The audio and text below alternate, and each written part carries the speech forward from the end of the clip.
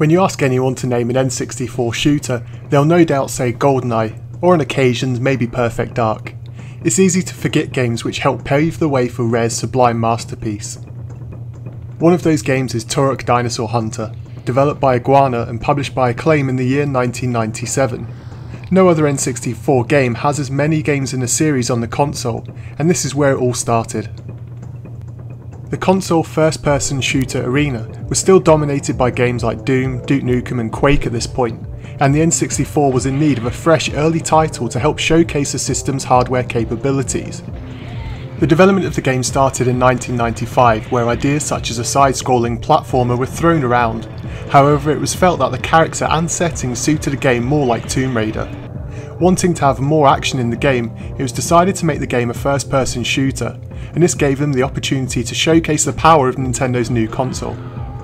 During development, the team states that whilst Nintendo were helpful, they did in fact have to build all of their own tools to get the game running. They also used their new state of the art motion capture facility in order to bring realism to the game.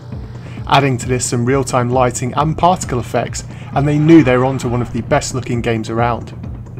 Enter Turok Dinosaur Hunter, an epic first person shooter with perhaps the largest amount of free roaming 3D ever seen in a console. Playing as Turok, the Native American warrior from the comic books of the same name, you must stop the evil campaigner from basically taking over the universe with a powerful weapon.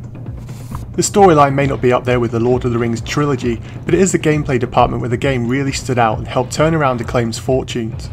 At this point they were suffering cash flow problems, and you could say that this game helped turn around their fortunes for a period as it shifted over 1.5 million copies. Bear in mind that was with the game having a mature rating which limited its saleability to younger gamers and also the high price tag of $80 on launch. I'm in no doubt that the game also helped sell the N64 as a console, as it was one of the first huge third party games to arrive on the console, and that's even with the game being delayed by 4 months due to bug fixing and the difficulties Acclaim found from trying to get the game to fit on an 8MB cartridge. Onto the game itself, and the first thing to hit you when playing will be the controls. The first time I played Turok I found it near impossible to control. If you're used to the old school shooter style movements, then having a 3D world to explore can be quite a challenge to begin with. The game does take perseverance, but once you get to grips with the controls you have a huge amount of movement to use in your exploration, and the analog stick finally gave you a sense of freedom in a game. Turok can run, jump, crawl and climb, as well as swim in some fantastic looking underwater sections. Graphically the game was groundbreaking for its time. The first thing to address is the level of fogging which does drag the game down slightly, however with the environments being generally jungle based, it helps add to the atmosphere the environments themselves all fit the part and help bring to life the atmosphere of the game. Anyone who is used to the dark tunnels of Quake or the gloomy corridors of Doom will get a refreshing sense of space which makes the game feel much larger in scale. Adding to this a great selection of enemies from dinosaurs to humanoids with their own distinct attack patterns, then you have a game that looks as good as it plays. One of my favourite personal aspects of the game is the weapon variety. Turok can use everything from primitive weapons such as knives and bow and arrows, all the way to multiple rocket launches. Getting to know how to best use your weapons is a blast, and even with multiple explosions and enemies on screen, it rarely suffers from slowdown.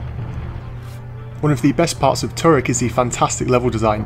There are times when you'll be face palming yourself after many deaths trying to traverse the difficult later platforming sections of the game, but aside from that, there's plenty to see here.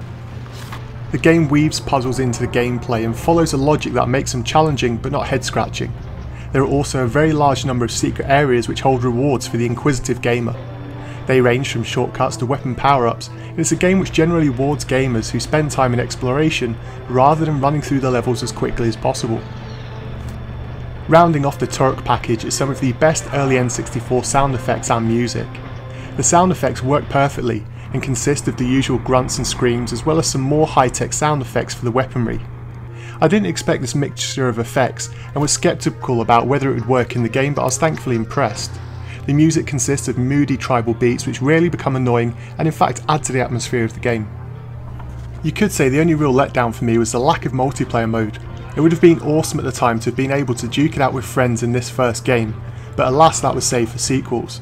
It's not a game killer, but it could have been an essential early N64 multiplayer game if it had this feature.